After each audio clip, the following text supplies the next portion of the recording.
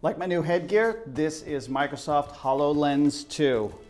It is lighter, it is smarter, it is connected to the cloud, it is intelligent locally, it's intelligent out there, it's got fi carbon fiber on the front, it can now track my gaze. I don't know if you remember the original HoloLens, which is a really incredible mixed reality headset that Microsoft introduced a few years ago. A development kit, they kind of pushed it right into the enterprise, but people weren't entirely sure what it was going to be and if it was ever going to be a gaming system. HoloLens 2, we really understand this is about getting work done and it's got some incredible tools for it. So what are the big changes here? See, it's, it's completely different the way they've built it here. There used to be a second ring there. Now it's balanced differently. They've got the, a lot of the technology and battery in the back and some technology in the front. What this creates is a balance on your head.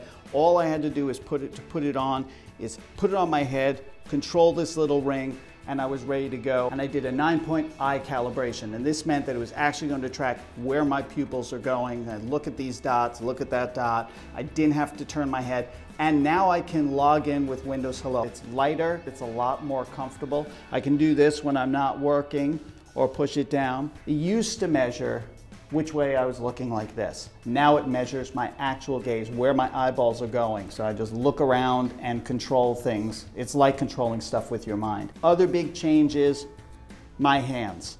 I can control things with my 10 digits.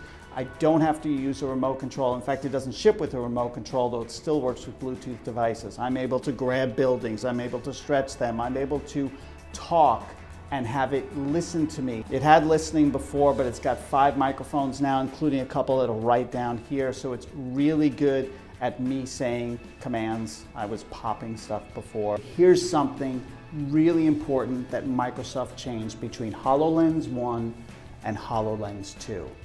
My field of view is bigger, much bigger. It's, it's a 3-2 aspect ratio as opposed to like 16-9. It's taller, it's a little wider, significantly taller, but you don't feel like you're staring at a small TV set in the distance. Microsoft made a big push with connecting the HoloLens 2 to the Azure cloud, uh, which means that it's got the enterprise level intelligence out there up in the cloud when it needs to, but also has local AI-based intelligence for sort of real-time response. Uh, this is going to be a device that you can use out in the workplace to train people. This is an enterprise tool, so it's $3,500 or $125 a month bundled with remote assist. So, you know, it's not, it's not a toy. It's, it's a tool for the modern workforce. Uh, and they're also even selling customized versions. They're about to sell them where they're built into hard hats which is the only reason I ever wanted to work on sort of a construction site. If I could wear one of these things, it would definitely be the coolest thing ever. You just pop this on your head, put your hard hat on, look up and see that you can stand under that beam, but not that beam because HoloLens 2 is telling you what to do.